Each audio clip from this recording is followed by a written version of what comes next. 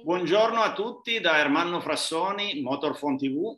Oggi siamo con Paolo Principale, disegnatore per il team Eurobrun Racing di Formula 1 nel Mondiale del 1989, per parlare in particolare della Eurobrun ER 189. Benvenuto Paolo innanzitutto e grazie per aver accettato il mio invito. Grazie a te Ermanno e saluto tutti quelli che guarderanno questo video. Eh, per prima cosa, eh, come sei entrato a far parte del team Eurobrun Racing? Avevi precedenti esperienze nel motorsport quando sei stato assunto da questa squadra di Formula 1? Dunque, io vengo da una famiglia normalissima che non aveva alcuna, alcuna passione per il motorsport, né mio padre né tantomeno mia madre. Io invece questa passione qui l'ho coltivata da quando facevo le scuole medie, praticamente ho conosciuto il motorsport, ma ero da solo, essendo qui in un paese piccolino, ero praticamente da solo a avere questa, questa passione e l'ho coltivata, diciamo, per sempre, fino adesso. E quando ho raggiunto la maturità e sono diventato un perito meccanico, praticamente io volevo fare il disegnatore meccanico, mi piaceva la meccanica più progettarla che farla. Mm. Eh, e allora c'era il tavolo da disegno. e eh, diciamo che fra le mie aspirazioni massime era quella di poter lavorare nel motorsport. Que- a qualsiasi livello, dal rally alla Formula 1 al gruppo C, l'importante è che fosse auto da corsa, auto, non moto. Mm. E diciamo che questa cosa qui praticamente l'ho portata avanti fino alle estreme conseguenze. Cioè io appena sapevo tramite giornali che c'era qualche team della mia zona che cercava, io telefonavo, facevo telefonate, telefonavo 30, 40 volte, insomma praticamente molta gente mi ha mandato anche a spendere perché ero veramente insistente. Finché, finché non trovai, non provai a telefonare a Pavanello e lui sorprendentemente mi chiamò mi chiamò e mi disse se puoi venire qua a Milano, noi abbiamo proprio bisogno di un disegnatore. E io praticamente, senza essere mai andato prima a Milano, avevo 24 anni. E si parla dagli anni 80, cioè un'era geologica fa. E praticamente presi il treno, andrai a Milano, poi da, da, quando arrivai in stazione centrale presi un taxi, andai a Senago, e fece aspettare lì, spesi un botto di, di taxi perché lo fece aspettare mm. un'ora, un'ora e mezza, perché se no come facevo dopo tornare indietro non sapevo niente, non, non conoscevo niente, nulla di quella zona. Mi fece il colloquio e mi assunse in seduta stante, una cosa che per me ancora adesso è un mistero. E, ed è per questo che io ho la, verso di lui ho la massima riconoscenza eh, perché cosa ha visto lui in me io non lo so. Probabilmente avrà visto che io avevo molto entusiasmo, esperienza zero, però magari gli serviva proprio una persona così, posso Quindi, pensare. Il consiglio è quello di darsi molto da fare, diciamo. Beh, questo in tutte le cose, chiaramente.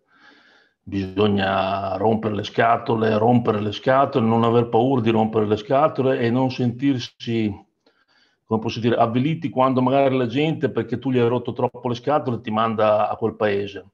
Eh, perché se uno non ha conoscenze, se uno non ha un retroterra culturale e familiare eh, in questo ambiente qui, eh, deve, se vuole arrivare si deve arrangiare. E, e questa è una cosa che, voglio dire, mm, consiglio a tutti, però prima bisogna avere l'istruzione adeguata. Io sarei potuto andare all'università e non ho voluto farlo perché sono voluto andare subito a lavorare. E adesso se vuoi lavorare nel motorsport, gioco forza, devi essere per forza laureato e non laureato e basta, laureato col massimo dei voti.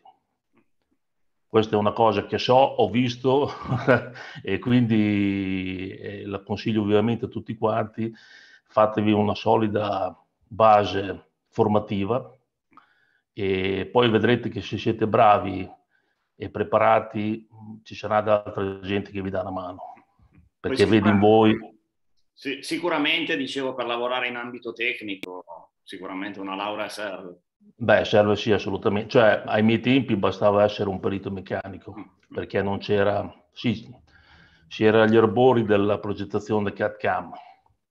Infatti, sì, infatti lì abbiamo sempre lavorato con il tavolo da, da disegno. E, e diciamo che tutte queste cose della Galleria del Vento esistevano, ma non a questi livelli qui che sono ultra sofisticati. E per lavorare con queste cose, diciamo che l'assetto delle vetture era dato più da ingegnere di pista con 20-30 anni di esperienza, adesso invece l'assetto di pista lo fai con simulatori, con queste cose qui, che voglio dire, se non hai una buona laurea, una buona base culturale, formativa, non ci fai niente. Cioè, lo, st- lo, stesso per fare il disegnatore. Eh, negli uffici tecnici adesso voglio, vogliono della gente che non solo disegni, disegni e poi dopo testi il suo pezzo, il pezzo che ha fatto, i pezzi o lo studio che ha fatto in maniera teorica, cioè attraverso calcoli, programmi di calcolo, queste cose qui quando sei perito non le fai perché ti danno un'infarinatura per poter andare verso l'università. Quindi è per quello che dico, andate all'università, prendete una buona laurea, cercate di spendervi molto per questa laurea qui e poi quando, quando vi siete laureati non abbiate paura di rompere le scatole. Chiaro, chiaro. Ma in cosa consisteva più in dettaglio il tuo ruolo in Eurobroom nel 1989? Bah, io praticamente facevo il particolarista io lavoravo sia alle dipendenze di Ori che alle dipendenze di, di, un, altro, di un, altro, disegnatore, eh, Bruno Zava. Cioè, adesso sono tanti anni che quindi mi sono dovuto, ho dovuto fare un po' di ricerca mentale. Questo Bruno Zava qui veniva dall'epoca dell'autodelta di Chiti ed era rimasto lì con Pavanello perché Pavanello lo conosceva dai tempi dell'Euroracing. E diciamo che grosso modo Roberto Ori seguiva l'anteriore della vettura, telaio fino al serbatoio. E invece Bruno Zava seguiva l'installazione del motore, il cambio e tutta la sospensione posteriore e il fondo piatto e penso anche le... no, il fondo piatto e basta.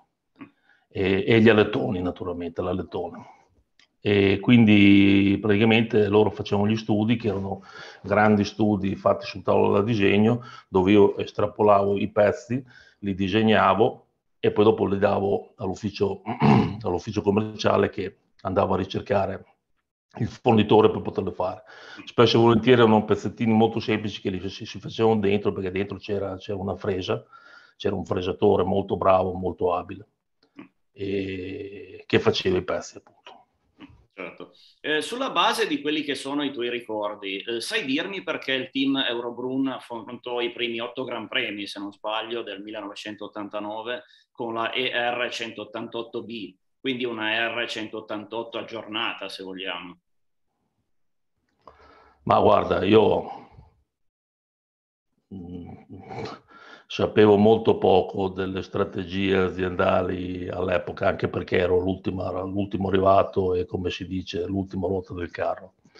E, ehm, però posso pensare che l'arrivo della macchina nuova fosse, fosse stato generalmente così, fosse stato deciso e pianificato in, diciamo, in data molto avanti rispetto all'inizio del campionato quindi probabilmente avranno pensato il campionato lo iniziamo con la macchina vecchia, ma magari facciamo delle, delle migliorie perché la macchina che fece Tolentino non aveva per esempio la, la presa d'aria centrale, mentre invece su quella modificata gli fecero la presa d'aria centrale.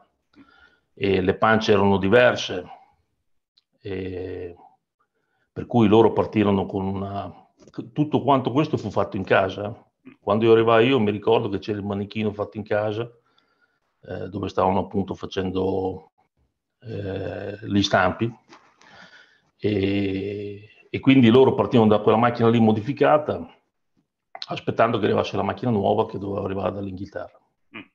ed era un progetto di George Reto.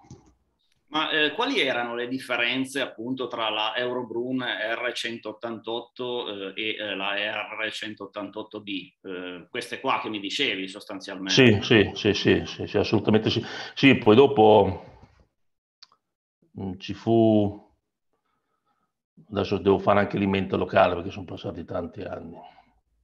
Ci fu qualche, qualche mh, elemento che fu mh, trasferito dalla macchina nuova che doveva ancora uscire a quella che correva, tipo gli alettoni, perché gli alettoni che, che c'erano sulla macchina vecchia non erano proprio per niente efficaci, per cui furono, furono questi, questi alettoni sia davanti che di dietro furono adattati alla macchina nuova e, e furono provati. Quando fecero lo shakedown a Monza col motore. Ah, c'era anche, ah, ecco, scusa, c'era anche il discorso del motore JAD. Adesso ci arriveremo. Che, eh, c'era anche il discorso del motore JAD che passò dal, dal Cosworth Mother, si passò al JAD che era un ex um, motore, mi sembra, della Williams. Mm. Era la Williams che aveva dismesso il JAD perché all'epoca um, aveva cominciato la collaborazione con la Renault. Infatti volevo un po' chiederti cosa significò passare da questo vuoto Ford Cosworth che equipaggiava la Eurobrun dell'88 al vuoto JAD dell'89 e poi tra l'altro cambiò, cambiò, anche la fornitura del carburante se non sbaglio da Elf ad Agip. Sì, ma quelli lì sono accordi commerciali, non credo che l'Eurobrun avesse un, la benzina speciale, io non sapevo questo. Allora, premetto che io, sono, che io all'epoca ero un neofita, quindi ripeto, ero l'ultimo volta del carro e venivo le cose a sapere per, per terzi, per terze persone. E anche perché avevo abbastanza timore uscire fuori dall'ufficio tecnico. Andavo sì in officina a vedere così, così, però insomma cercavo di farmi vedere sempre al tavolo da lavoro, insomma, sai com'è, cioè quello è il mio lavoro, quello è il mio mestiere, non posso andare in giro a fare... Diciamo che...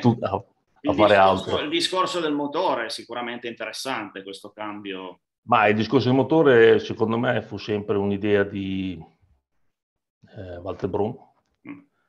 eh, che praticamente all'epoca aveva un consigliere, sempre svizzero, che era quello lì, da quello, da quello che so io, da quello che mi dissero, che era quello che aveva imbastito tutto quanto il discorso della, di George Rayton, della macchina nuova fatta in Inghilterra, a Basildon, e, e probabilmente, probabilmente, sai, in Inghilterra è facile eh, avere certi tipi di contatti per cui alla fine magari qualche d'uno che era nel giro dei JAD avrà detto con questi qua avrà detto guardate che noi abbiamo questi motori qua che sono sicuramente più performanti del, del Cosworth.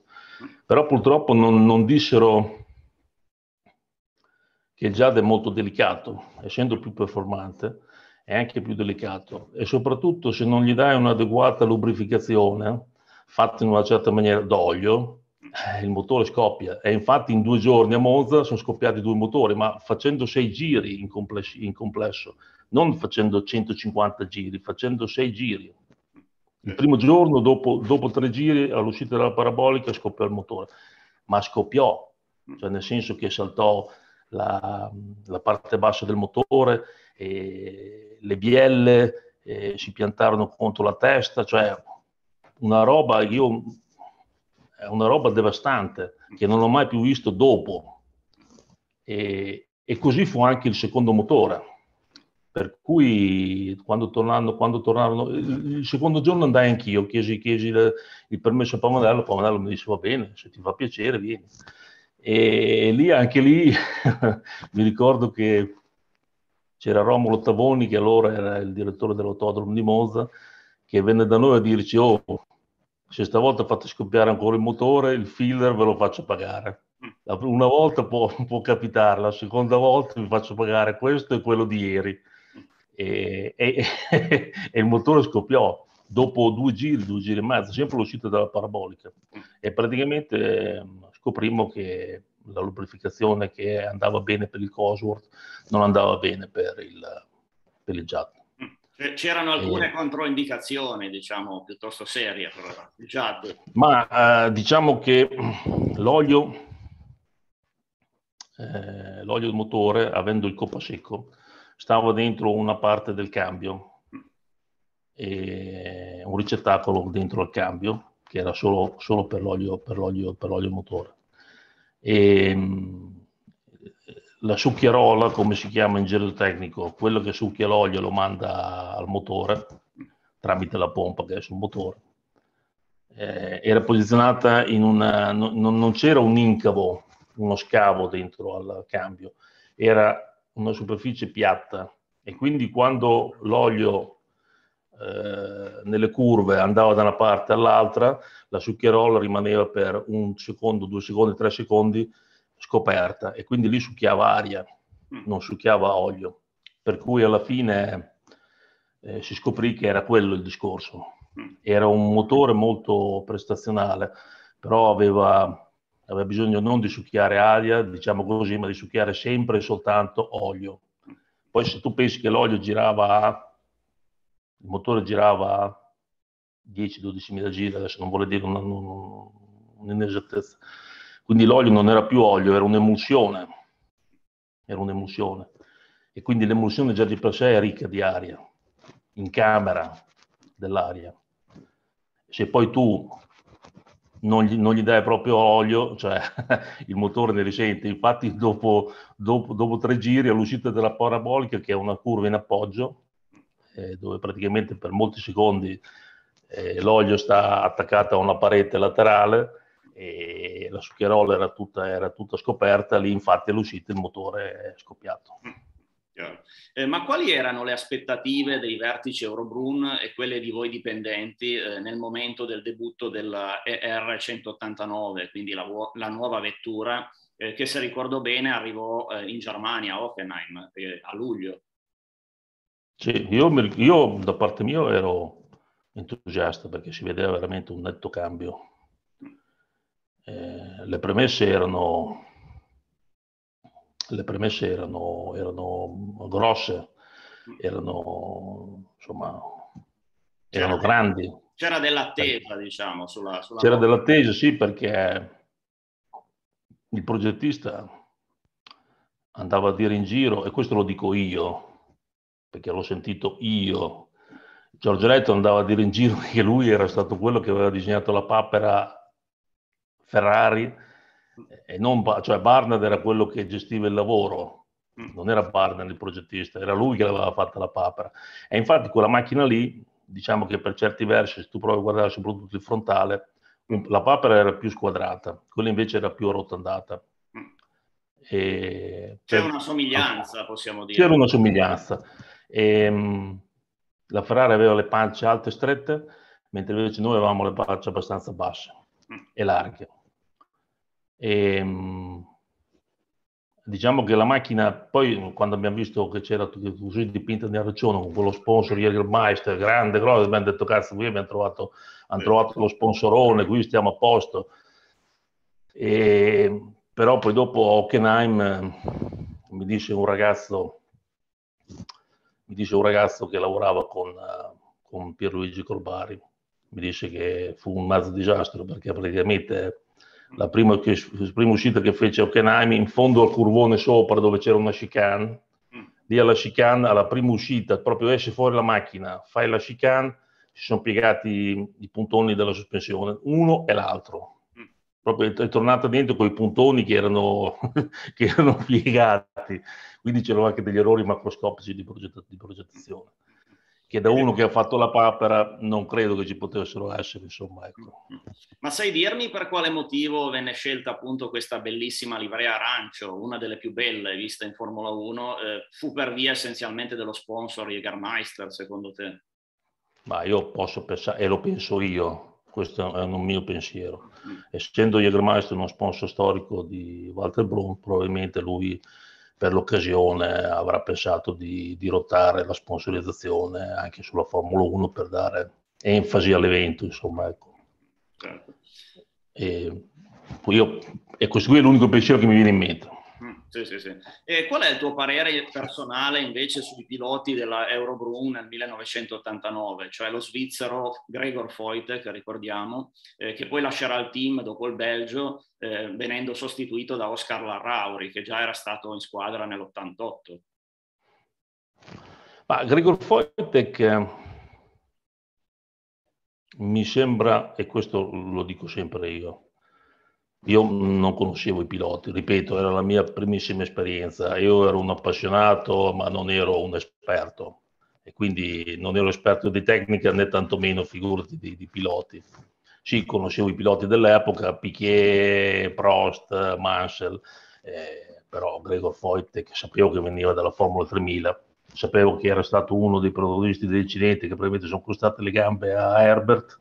E, ehm, però insomma secondo me eh, Foytek magari ce l'aveva, la, come dicono a Napoli, la cazzimma, mm. però non lo faceva vedere.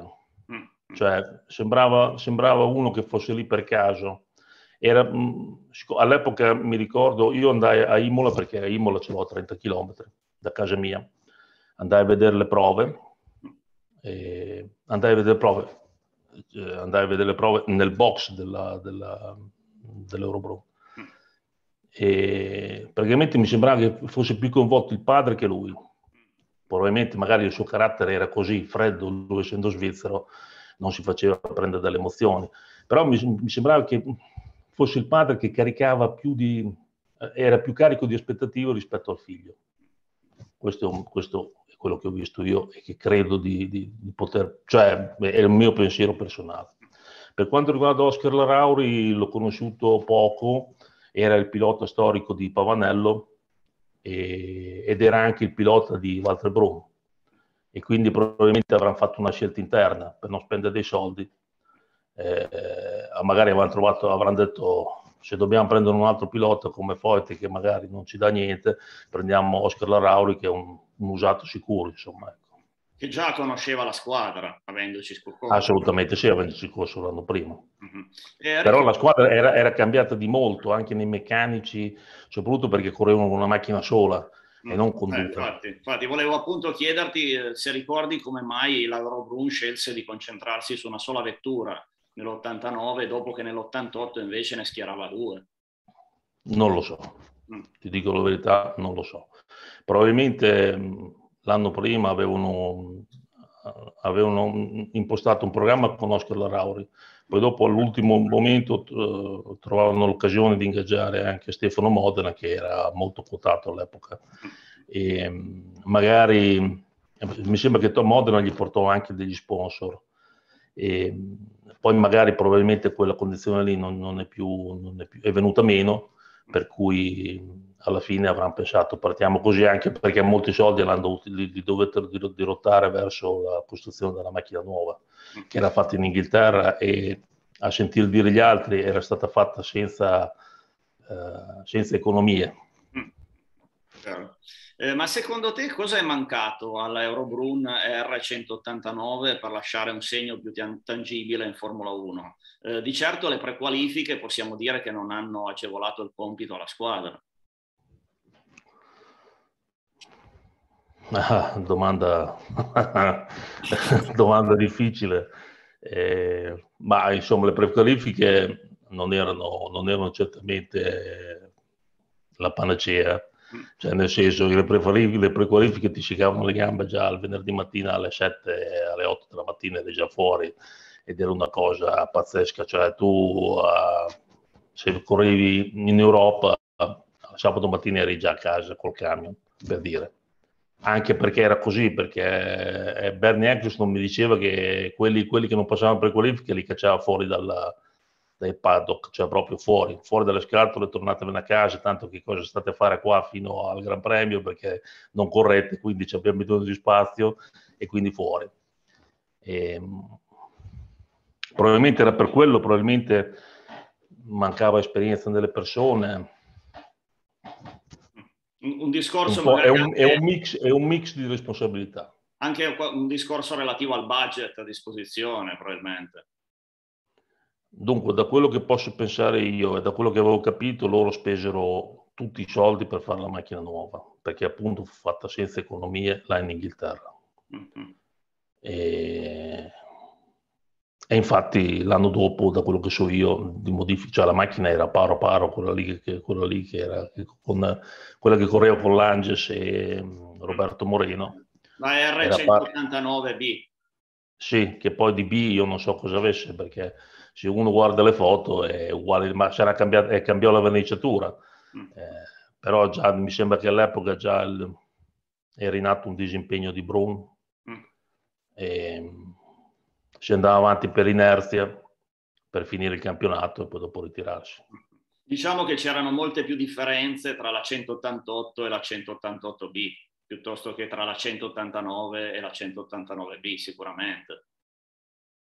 Beh sì, chiaro. Mm-hmm. La macchina del primo anno era molto diversa rispetto alla macchina che corse i primi Gran Premi fino a Hockenheim.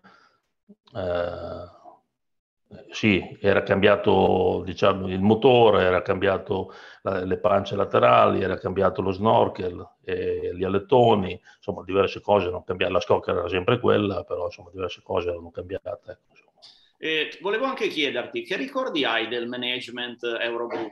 Mi riferisco in particolare a Walter Brun, appunto, Giampaolo Pavanello di Euro Racing e a Pierluigi Corbari, che era un manager eh, molto caro a Bernie Eccleston, mi risulta, eh, che arrivò in squadra proprio nel 1989.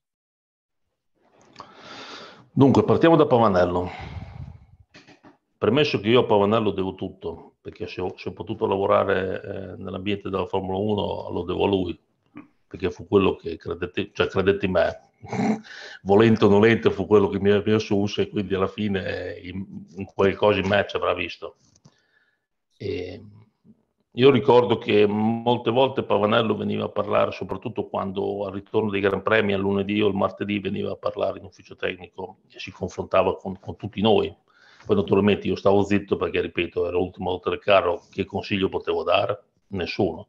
Però parlava con eh, Bruno Zava, di cui aveva una grande considerazione, parlava con Roberto Ori perché era lì, e si facevano delle discussioni, eh, però lui era, era, molto convinto che il suo, modo, il suo modo di preparare la macchina fosse l'unico giusto.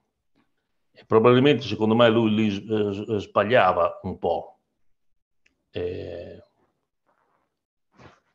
Pierluigi Corbari era il direttore sportivo e quindi, diciamo, di tecnica non credo, non credo che fosse il suo pane. Lui era quello che gestiva i rapporti del team con, uh, con Eccleston. Essendo grande amico di Eccleston posso pensare, ma non lo so, ma posso pensare che magari l'Eurobrun avrà avuto dei piccoli favori, tipo il posizionamento del team al giovedì quando arrivi, dove mettiamo il camion, perché era poi sempre gli uomini di Evernex che decidevano dove mettere il camion. Adesso no, c'è, c'è tutta una lista, cioè praticamente in base al piazzamento che hai avuto l'anno prima, c'è il tuo piazzamento al box, cioè nella posizione più agevolata ci va il campione del mondo e a seguire chi è arrivato secondo, terzo e quarto. Allora, e, e gli, ultimi, gli, ultimi, team, quelli, quelli delle prequalifiche, magari venivano mandati fuori, non avevano neanche l'accesso ai box.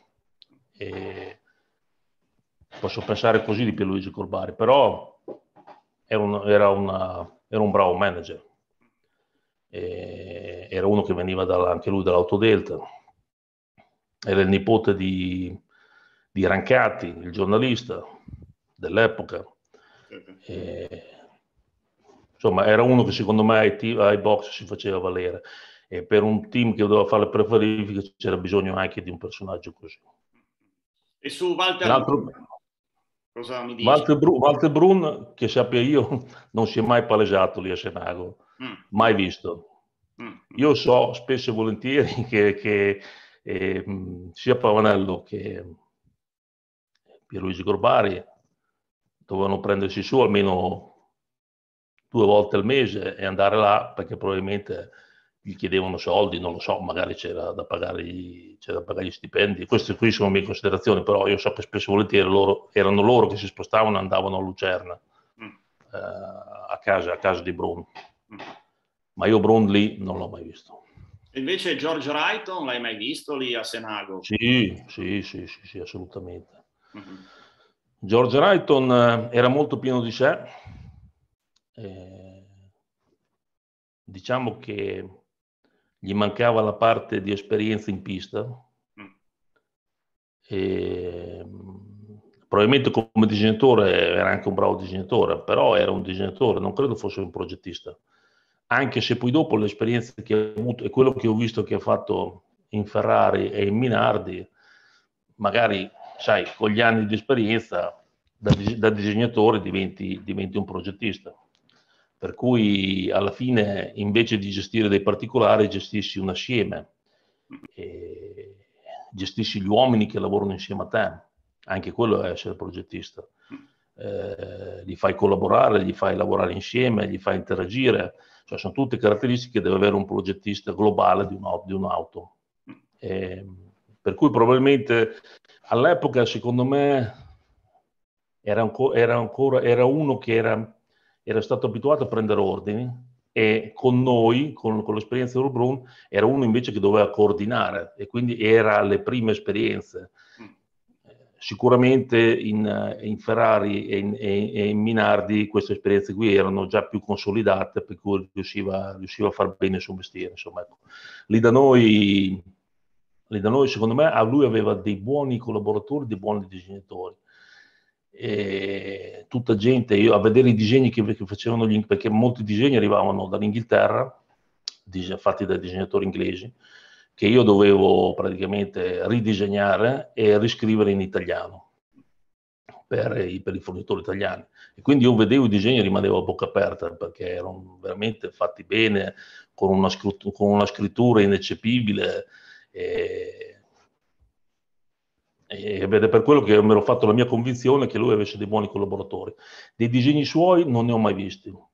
Io ho visto più che altro dei disegni di un, di un, di un tale Team Fist che veniva dalla Lotus, più ce n'era un altro che veniva dalla Tyrrell, quindi aveva, aveva della gente competente sotto, sotto, sotto, sotto di sé. Ma più in generale, che clima si respirava nel quartier generale dell'Eurobrun, che era appunto a Senago, vicino a Milano?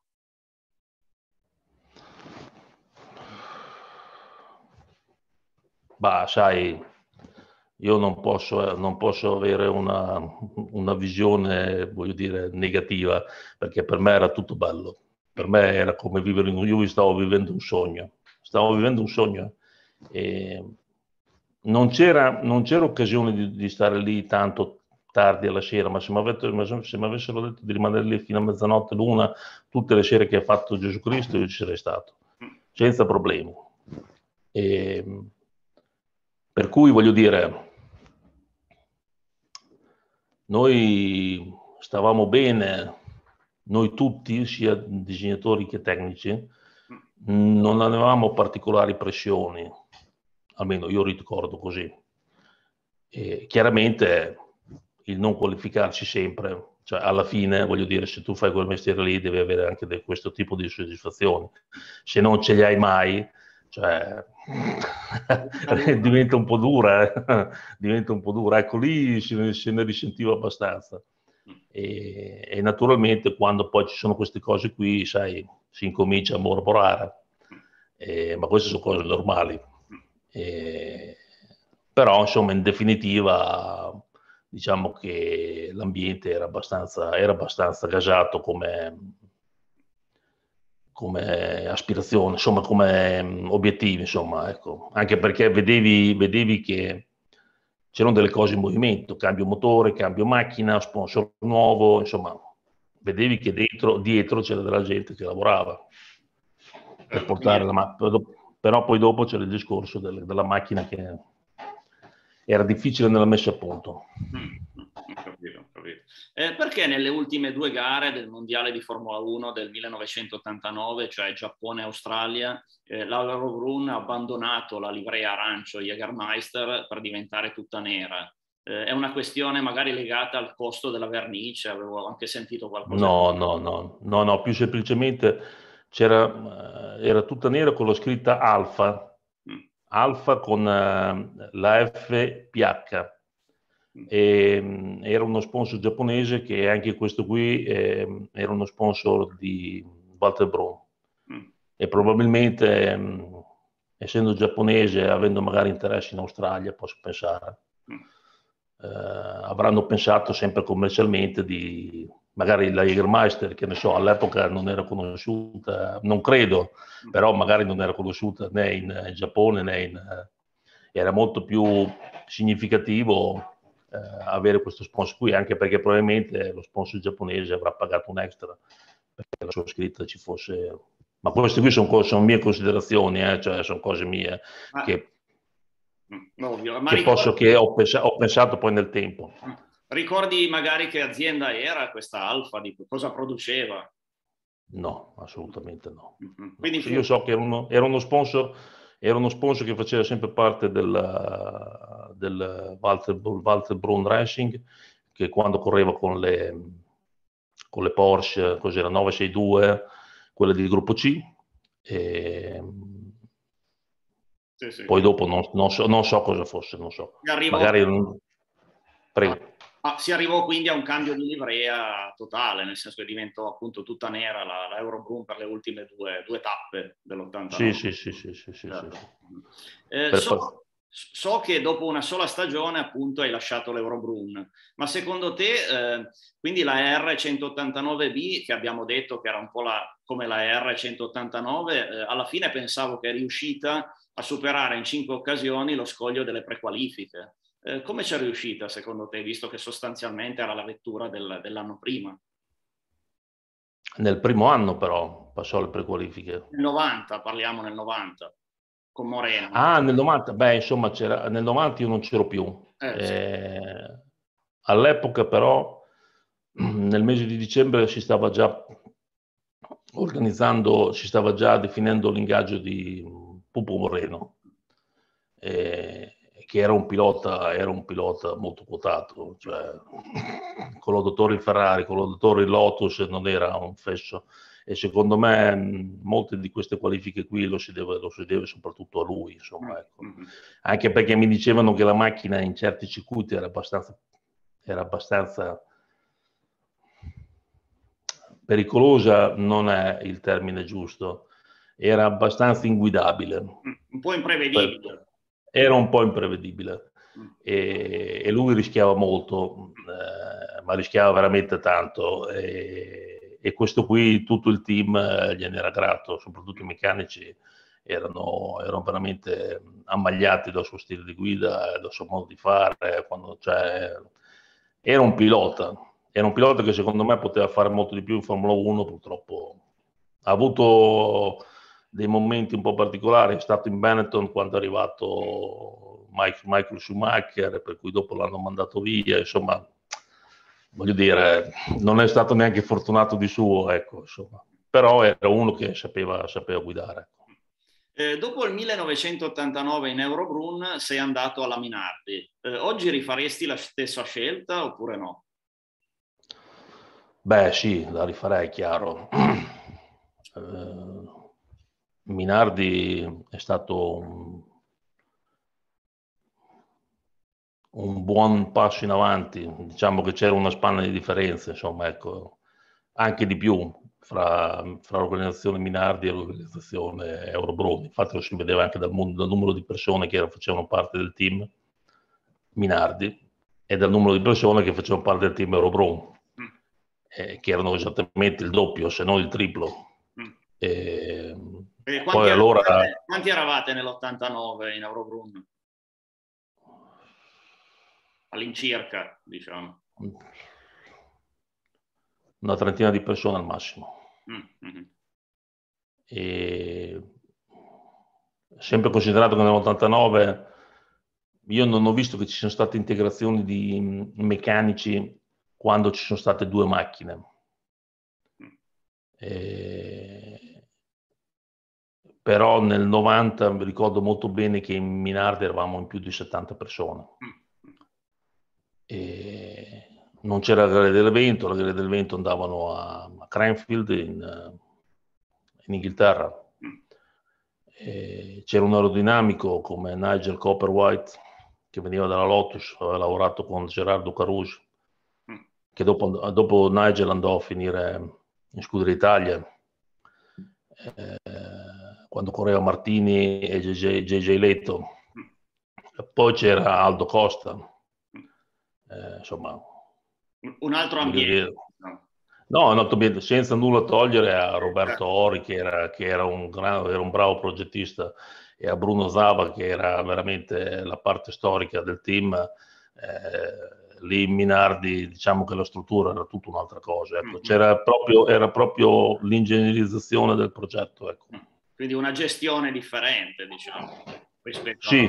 all'Eurobrum, sì. Sì, sì, Poi nel, nel, 1991 sei un dipendente della Coloni in Formula 1 che è all'ultimo anno, nel senso che poi nel 92 eh, arriverà... Quella lì, quella lì fu una cosa veramente cioè, sono stato veramente, è, è praticamente quella che mi ha segato le gambe per il mio futuro in Formula 1 perché sono stato veramente un cretino, detta come va detta, perché io all'epoca non conoscevo i miei limiti. Essendo molto giovane, sai, aspiri a fare tutto, pensi di poter fare tutto, invece ci sono dei limiti, ci sono dei paletti che tu devi, devi, considerare subito, devi avere subito a mente bene, dove tu puoi lavorare dentro quei paletti e fare delle cose bellissime. Ma se tu esci fuori da questi paletti e vai in campi che tu non conosci, ci fai delle figure barbine.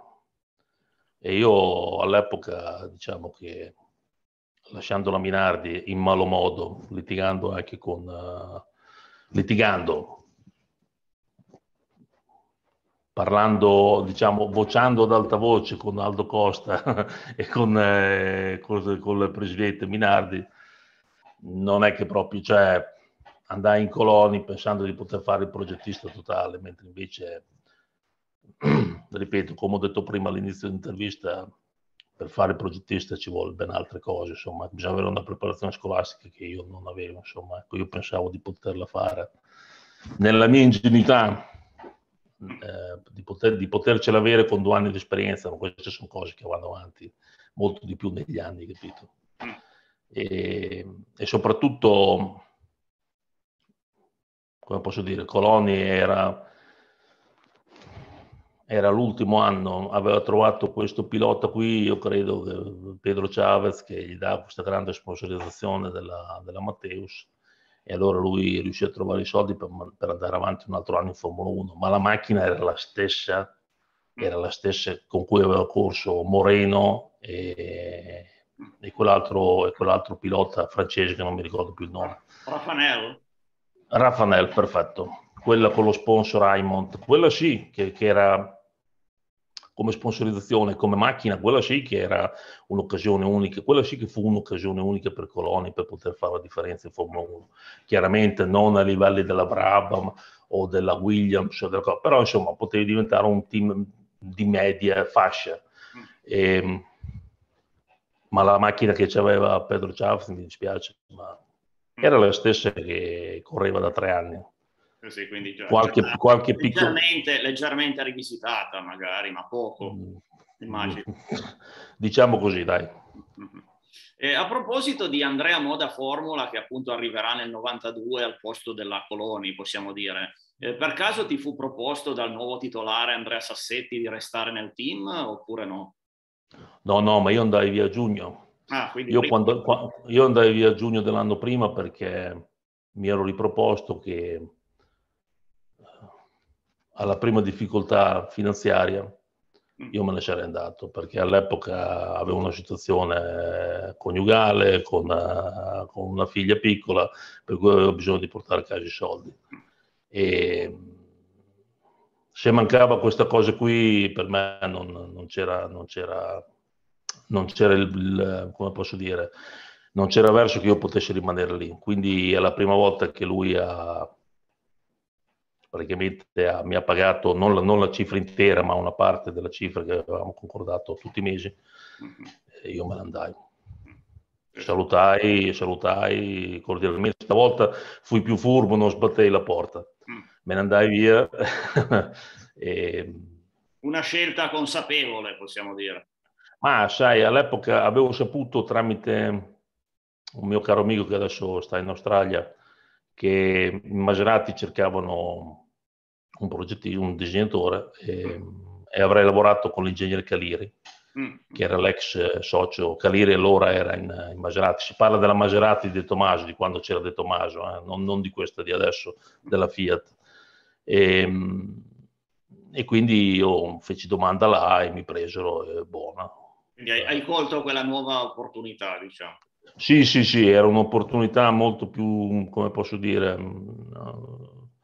molto meno affascinante della Formula 1, però almeno lì c'era la serietà che tutti i mesi ti pagavano. Più, più stabile. E era più stabile, perfetto. Mm-hmm. E oggi di cosa ti occupi invece? Ma dopo 30 anni che ho lavorato nel, nel settore automotive, con anche un'esperienza di 7 anni in Ducati, eh, mm, mi sono sentito, diciamo, da, da, un anno a questa parte, mi sono sentito che mh, mm, volevo cambiare, volevo cambiare, nel senso, faccio sempre il disegnatore barra progettista, però non eh, nel settore auto, automobile. Ho cambiato settore, sul lavoro nelle macchine automatiche, nelle macchine incartatrici. Io essendo della provincia di Ferrara, avendo Bologna come centro, come centro diciamo, mondiale per, per, quel che, per, quello che parte, per quello che riguarda le macchine incartatrici, impacchettatrici, eh, quindi diciamo che di occasioni ce ne sono e, e boh, basta. L'unica cosa è che sono dovuto ripartire da zero, perché la meccanica, è vero che la meccanica è, è, è uguale da tutte le parti, ma non è vero che una macchina imballatrice ha le stesse problematiche di, una, di, di un'auto, mm. che sia questa da corso o di produzione.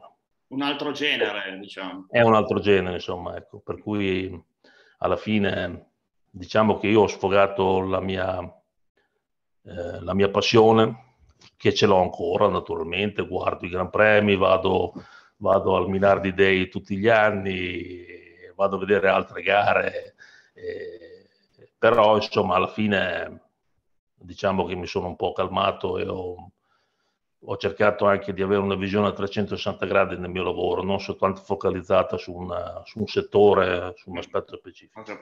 Ma ti è capitato di rivedere qualcuno dei vecchi tempi Eurobrun, magari dirigenti o colleghi? Ho visto un meccanico